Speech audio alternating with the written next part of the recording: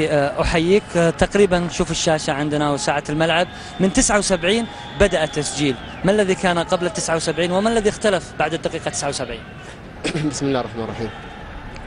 طبعا أنت شفت المباراة بداية الشوط الأول. كان الفريق الرايداوي مقفل يعني 11 لاعب كله راجع وراه.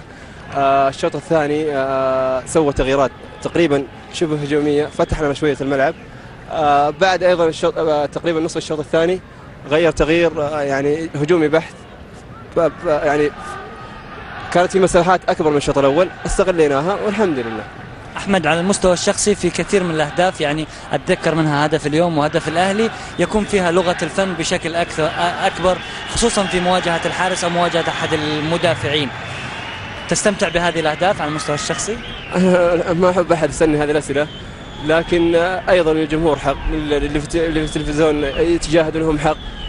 شوية نمتعهم وبعد هذا يعني الفوز أهم شيء هو. طبعا لكن لابد فيه امتاع في كورة حلوة. في 10000 إذا ما جينا. آخر شيء أحمد التفكيك اللي قاعد يصير بعد نهاية كل مباراة.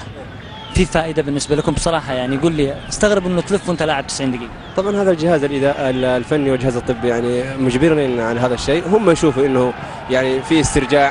حتى داخل غرفة الملابس في موية باردة هناك. فهذه كل الأمور تساعد على يعني استرجاع المباراه الثانية